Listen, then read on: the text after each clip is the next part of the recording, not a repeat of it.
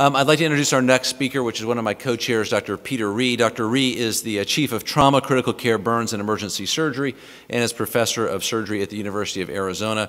Um, he is the uh, Vice Chair for Clinical Affairs for the Department of Surgery and holds the Martin Gluck Endowed Chair. Um, he went to uh, uh college at uh, Georgia Tech, uh, studied medicine at U.S. Health Sciences, uh, University, um, has a Master's of Public Health from University of Washington. He has a couple other degrees. I won't belabor them, but since this is the day after Veterans Day, I'll tell you that uh, Dr. Rhee is a retired U.S. Navy captain following 24 years of active service with uh, numerous shipboard uh, deployments. He served in Afghanistan and in Iraq uh, during Operation Enduring Freedom and Operation Iraqi Freedom. He's a fellow American College of Surgeons, and uh, he is one of my very, very close friends, and I am honored to introduce Dr. Peter Rhee.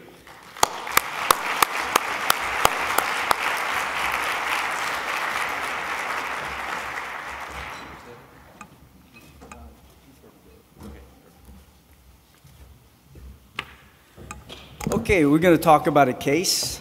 Um, see, we got uh, time, and uh, you know Ronnie. He just you just talked to him, and then we got uh, Sydney, uh, trauma director at uh, Maricopa. I think most of the audience also know him. He's uh, recently also been asked to be the vice chair at Maricopa. So this should be a fun time period. So we got one national and one famous local guy here. And I'm going to present a uh, case that I had uh, at Trauma M&M. And this will be interactive, so get your cell phones out. We'll be texting uh, answers. Uh, this is how we usually start off. So it's a typical time period of us, for us, uh, two calls. We do about 20 a day, variety of cases. Can you guys see that? Okay. Barely. Man. Barely. All right. Um, all right, here's the patient. 68 year old, he was driving down the highway in his pickup truck, pulling a flatbed trailer, got a little bit out of control. It fishtailed, threw him out uh, off the highway. He and his wife were coming in. And uh, blood pressure started to become a little low on transport, so he was made a trauma red, which is our highest activation. His uh, hypertension, hyperthyroidism. So, uh, can I have sound?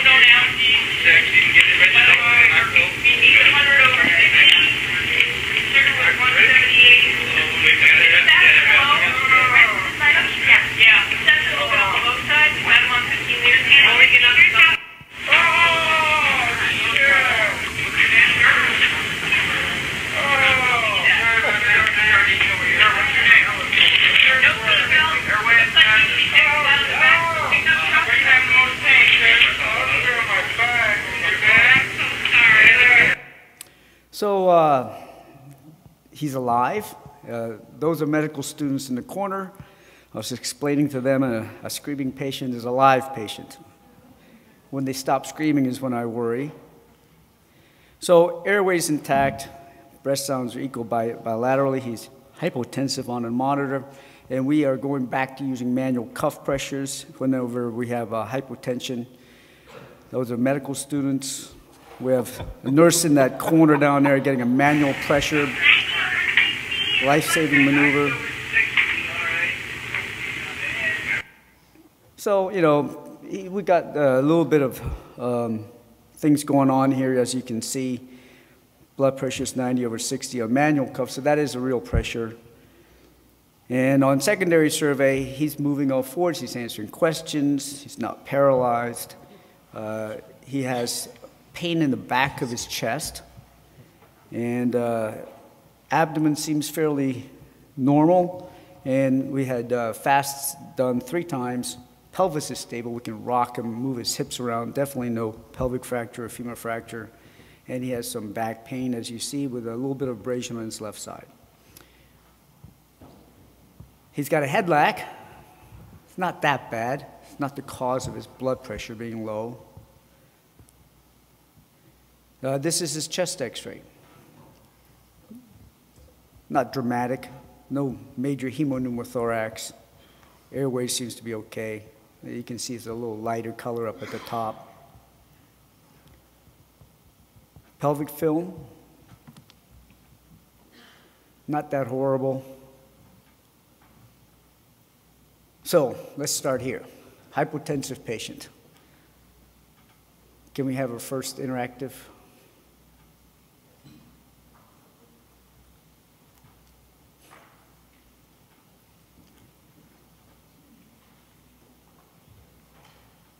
Okay, so if you like the first answer, uh, did they get to see that question or?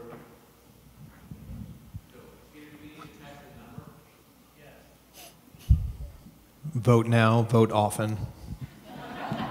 Okay, so can we show that simultaneously? I thought we were showing that simultaneously on.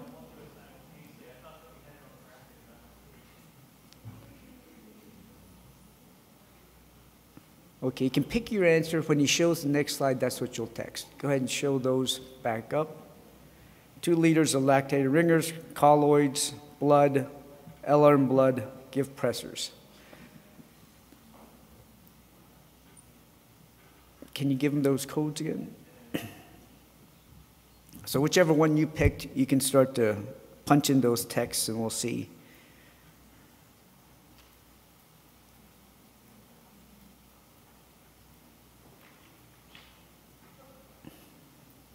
Think F was the DPA, was it? What was F? I'm gonna have to take a picture of that. I can't remember. Okay. All right, let me go back to that question. Okay. Two liters LR. What do you think, Ronnie? Well,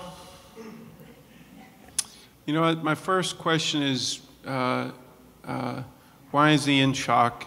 If he's in shock, that's my, I still don't have an answer to that question, so that's going to be, I think we really ideally need an answer to that question so we can do appropriate therapy. Uh, I agree, but we have to do something about Yeah. his volume. So what Well, do I you mean- think? I mean, I would like to know the Yeah, I answer know. too. yeah, I know you would. Uh, Everybody says to give LR. Is- I would probably give, would if I was going to give anything, I would give blood. Sid? Yeah. Agreed, but going back to your three fast exams, did anybody look at the volume status of this patient with their fast? Yes. And We couldn't see. you, a blind man can see. I know. We, we looked at the fast. Fast showed a bunch of gray stuff, but we couldn't see any blood in the belly. But IVC, right heart, It's there somewhere, but we can't find it. I would agree. I would start with blood, not You knowing know, what's going on. sometimes you can't So- see the stuff. So I'm really starting in my head. That's where I'm actually really start. I'm going to start with my head, not the patient. But you have one. bleeding, He has a head. bleeding, tension pneumothorax, pericardial tamponade, neurogenic shock. Okay, so, I'm he going to go through that list again. Shock. He doesn't. He's moving his arms and legs. So he doesn't have neurogenic shock. Chest X-ray. You saw the chest X-ray. He's not Bilateral pulmonary death. contusions, and Right. a widened mediastinum, Right. probably blunt thoracic aortic injury. Okay, that doesn't necessarily give you hypertension, I agree with right? you. That's right. Okay. That's why I'm. That's why I'm still up here troubled with what's going on. So what would you do in the meantime? Everybody here wants to give LR. We already said what we'd do. We said we'd give some blood. Okay. I don't know what All you right. what you'd do. What's DPA to? Is that diagnostic peritoneal aspirate? Yes. Okay. Okay. All right. That's a good. That's a good thought. So chest X-rays, like you said, questionable wide mediastinum, multiple right-sided rib fractures, uh, contusion, maybe aspiration, scapular fractures, and the pelvic X-ray, as you saw, nothing really too remarkable. So CT is ready. Okay, pressure's 103. What would you do here? Hurry and go to the CT scanner? go to the operating room? He is hypotensive. He should go there and do something. Go to the ICU. They have coffee there. It's not bad. Stay and give blood. Go to lunch. I'm kind of hungry. Stay in the trauma bay and give more crystalloids. Okay, can we have the second interactive question? So, your thoughts, Ed, what would you do? Well, the paradigm has definitely changed. These days, as long as you're accompanying that patient, uh, we'd probably go to CAT scan if all else is negative and start to worry about cardiogenic, neurogenic, um, Look, he's not neurogenic, he's moving his arms and legs. Yeah, yeah, yeah. talking you to- know, but yeah, we know how has- you are in this panel discussion, so we've got to be open to all possibilities. Agreed. Okay, so, So- what are the chances of him having a neurogenic shock if he's, he can feel you everything that you're touching on him and he's not moving his arms and legs? Very low. Okay, I agree. All right, so let's scratch that off the list. Okay, you scratch it off. Mm-hmm. Okay, so, so airway, breathing, and CT scan, right? That's what they do in Maricopa. Absolutely. Okay, I, I, I'll just say I'm going to weigh in, and I agree, although I might, I don't know, I mean, you've tried to take what's inherently this chaotic situation, make it more orderly, might secure his airway before going to CAT scan. That's, that's, he says, you know, he's talking to me. He says, "My Yeah, back hurts. My yeah, back hurts." I know. Okay, And, and I also want to know what his uh, lactate is or what his base deficit is. four. Really? Yeah. Okay, I'm Swear God. definitely going to CAT scan then. Okay, but he's hypotensive. Uh, so No, what? it's So- relative. I mean, I'm hypotensive right now. Yeah, but you know, they, you know, you come and verify my hospital, and they say if, if I take a hypotensive to the, uh, you know, to the CT scanner, that the, the guy's going to die there, Have him right? call me. As long as you're present, your OR is ready. I'm there, but I can't help his You're good. In, in, in your in your in your trauma center, I'm sure you can get them there safely, monitor them, and and CAT scan them within five minutes. And watch them die there, right?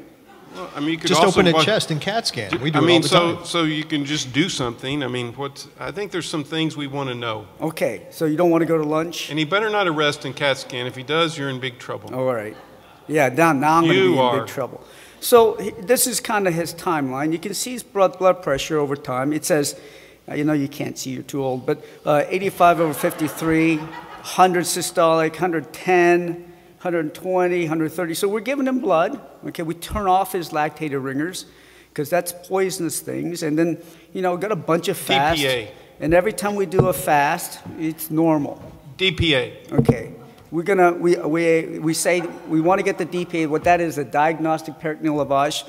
For those people that are extremely old, you might remember that. We don't do that in modern day medicine anymore. But that's where you put a catheter into the abdomen and see if there's a lot of blood because you don't trust to fast. Okay? So his pressure's normal. Okay?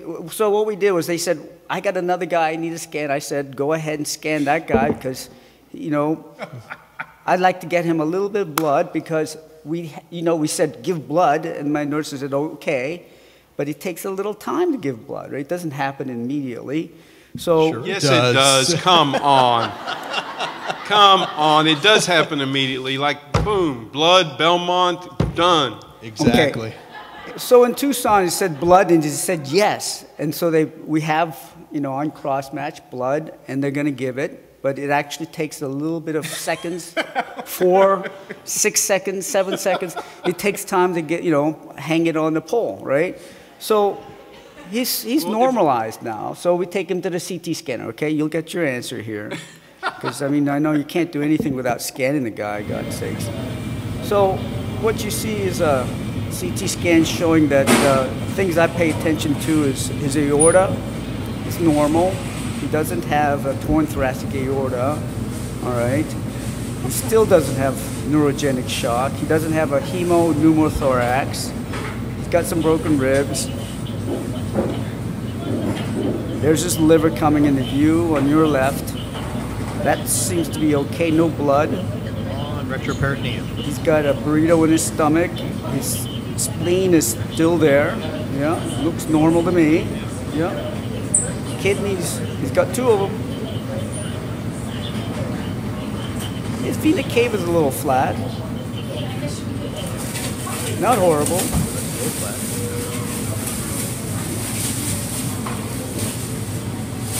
And on his left flank, he's got a little bit of a hematoma, but you know, down here near his buttocks, looks about the same on each side.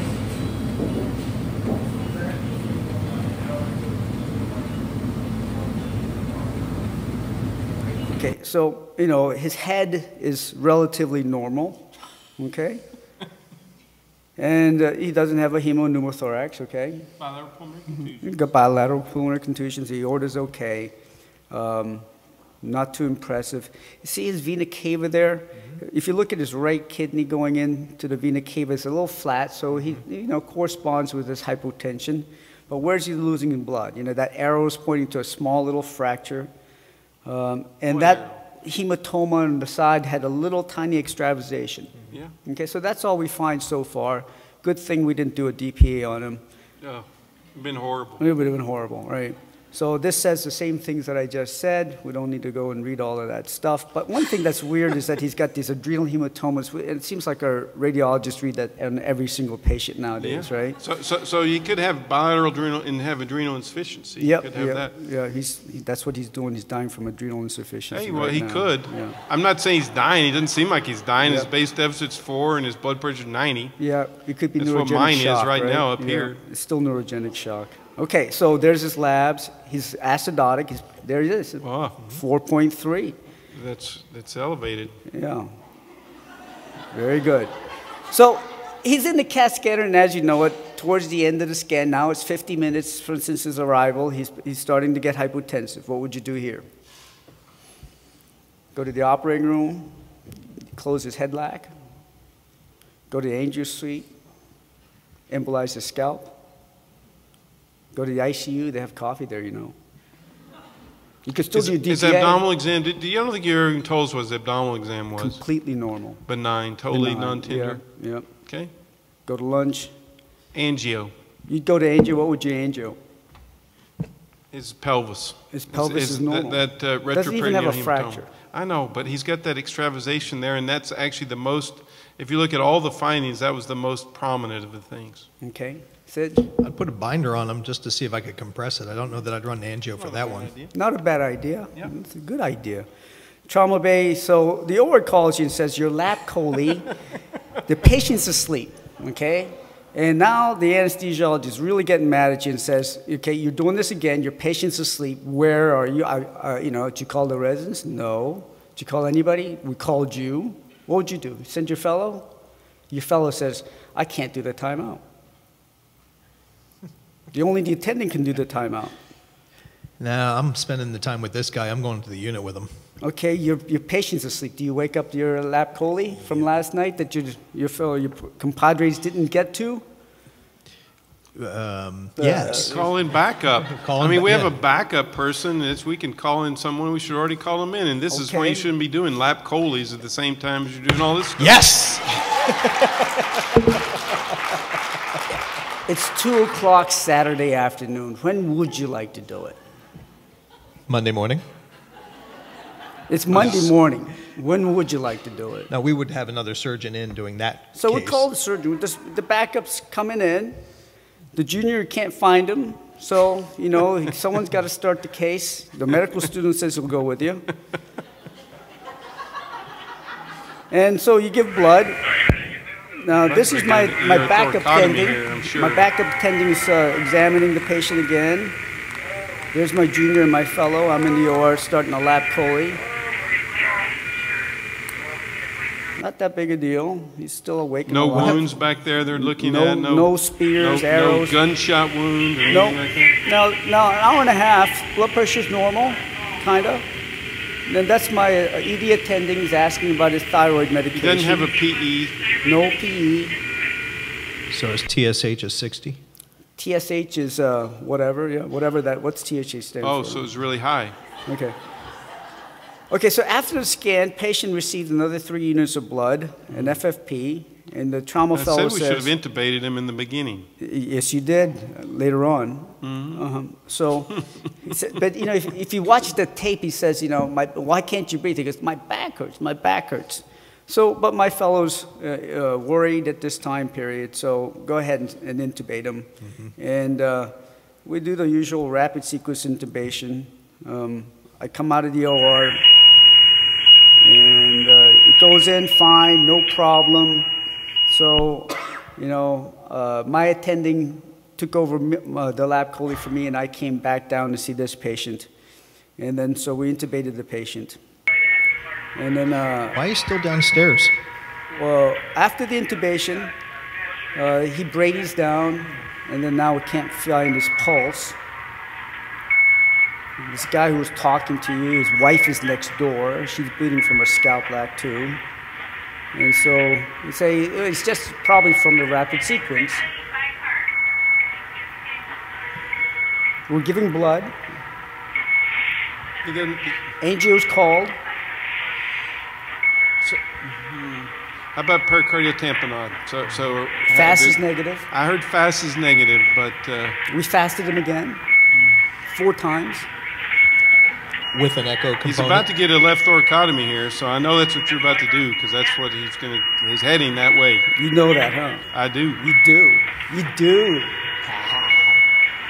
Okay. He's gonna have pericardial tamponade or something like that. you know, it's a long two minutes, but he comes back. okay, he gets, he, he comes back. They're about to get that stool for me. 'cause What did I'm they short. intubate him with? Their RSI? Hmm? Propofol? Some of that clear stuff, no, just the usual sux and etomidate.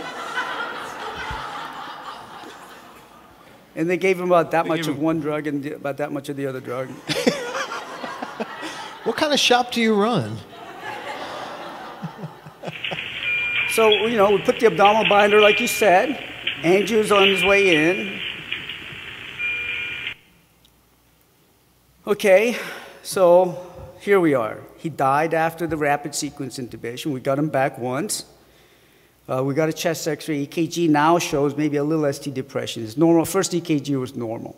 Okay, so he didn't have a heart attack when, when he was already in shock for the first time. Echo. Echo, we called them in. They'll be there tomorrow. Uh, we put in a central line, and he doesn't have a hemopneumothorax. Trachea's midline. Uh, we already know about his aorta, and he still doesn't have neurogenic shock. Okay. So, so, Okay. so, so, so, so I'm, I'm, so I'm going to say, so it's rare, but he he could have blunt uh, cardiac injury with uh, myocardial dysfunction from that. That would be. He also is 68. He could, he could be having a myocardial infarction. Have you ever heard of that one? That I agree. myocardial infarction. I, I completely agree. He's it must be his 68. heart. Yeah, It's hypertensive. right. We gave him nine don't units of blood Yeah, why so much blood? because he was hypotensive. What's his hematocrit with that? Is it 60 or is it 20? It is, his hematocrit is, is about 30. So he's bleeding. Yes, Yeah, yes. he's bleeding somewhere, and you can't find it. I can't, no, I know where it is. Okay, you know where it is. You Yeah. didn't, though. It's not in his belly, chest, legs. It's got to be in the back. He didn't do this. He didn't have a nine unit blood loss from his scalp. And I asked you whether you want to give pressors. Said, now he's starting to get hypotensive again. As soon as the blood slows down, he gets hypotensive. His hemoglobin is 10, okay? Yeah, so he's After bleeding. nine Is, units that, of is that your impression, your expert opinion? He's bleeding? Absolutely. He's bleeding, but you said he's We having need a to heart find attack. where the bleeding he's having a heart attack. You said he's having a heart I mean, attack. we're he's trying to find 67 the years bleeding. old. You're not have heart helping attack. us He's having a heart attack. He's dying from a heart attack. So your attack. troponin came We're back, trying your to find EKG it. is His done. troponin's now elevated because I did CPR on him. Didn't you see me do CPR on Well, him? what is it? I didn't Is it see like, it. you know, 0.5 or is it like a million? It's 0.5 Okay. million. so what do you do here? Mo pressors? Mo blood? We'd, oh my gosh. God, We'd what? go to the OR. I mean, ultimately, if, if you- we're going to wind up going to the operating room and doing something, we'll basically. Take out his but I would gallbladder? What do you want to do in the OR? You want to open up his back? There's nothing in the belly. There's nothing in the chest. I asked for an angio an hour ago, man. He's coming. He's coming. He's on. He's Hey, I'll almost just, there. I'll just remind you from the American College of Surgeons He's- that the Orange Book says again. you got a 30 minute response time to angio. And The- there's a there's the- a reason why we say that. the angio says he's there. They're there. They're ready for You, him. don't you have a hybrid room, some fancy smancy thing? Yeah, You've but got it. I vascular think won't let me use that. it. Vascular won't let me use it. Angio's there. They're going to be set up. They said they'll ready for you in five minutes. What do you want to do? Angio. Okay, we did. I said they'll be ready in five minutes, but he's getting hypotensive. Heart attack? What are you going to do? He's getting hypotensive now. Now. I'd get him, uh, you know, if, Pressors? Epi? yes. What? No, you're going to have to use Vasopressor? pressors. You got him Leave full. The dead? tank is full. him- full. Come on. we'd give vasopressin. I would already given him. I would already give him hydrocortisone for his. Uh, Okay, we get, we, we, bilirubin. he got the hydrocortisone. I know that's not going to do anything. That's right, didn't it? Oh, you're in the OR. His blood pressure's 50 over 30. We're, go- we need We're to the go to the OR. We should have done that DPA that I said earlier too. He's got no blood in the belly. He doesn't have neurogenic well, shock. based he on still doesn't have probability, though, based shock. on probability, you would have to say that on probability, the most likely source for occult hemorrhage would be in his abdomen, It's and fast would be wrong. CT scan's normal. That's true. It's true. You don't weren't paying attention. What would you do, Sid? I'd be in the OR continuing to resuscitate this guy because if you're going to end up opening him, He's figure dead. He's out. got no blood pressure. Well, you can He has a blood compress his aorta if you. I mean, if you. But his blood Well, pressure's 50 right now. Since Mr. REBOA is on the list, you Okay. know, may not be such a bad idea. All right. We got to hurry up because you guys are too oh, slow. Oh, lungs. There's your lungs. The ARDS is set in. That aspiration pneumonia is terrible. Is that All right. CPR? Yeah, because he doesn't have a pulse. Where's your universal precautions? Well, we had. We took it off after we gave him the tetanus an hour ago. I can't wear a body condom all day long, all right? Is that him? Is that you? Yeah, Where? with a He hat is on. not doing CPR. With the hat on. So we did a REBOA, and then this is his wife saying goodbye to him because he died. Okay, and this whole family, and one of them's the nurse up on the ward. So this is a, you know, we took this to the M&M. He died slowly over three and a half hours. Uh, is this is this anticipated? He came in alive, so I said this is unanticipated. Mm-hmm. You know, we could have intubated him a little earlier. I don't think that would have saved his life. We gave him nine units of blood. He was bleeding. I think he was bleeding in the back. We know for sure he wasn't bleeding in the belly. Mm-hmm. You know, we called IR, but uh, you know, still wasn't there early enough. We did put the biter on. We did do the REBOA. It didn't work. It never works in this situation. And when we looked at our data for it, I'm going to skip through this because this is just no time. But uh, what we found with our autopsy results and also looking back on it is that the, if you look at with blunt and penetrating uh, trauma, it's a, it's a toss of the coin. You know, it, the indications for it.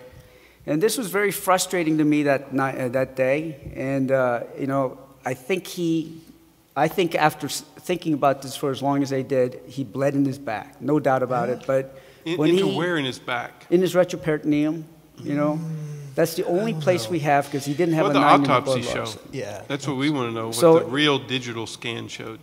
The autopsy's pending.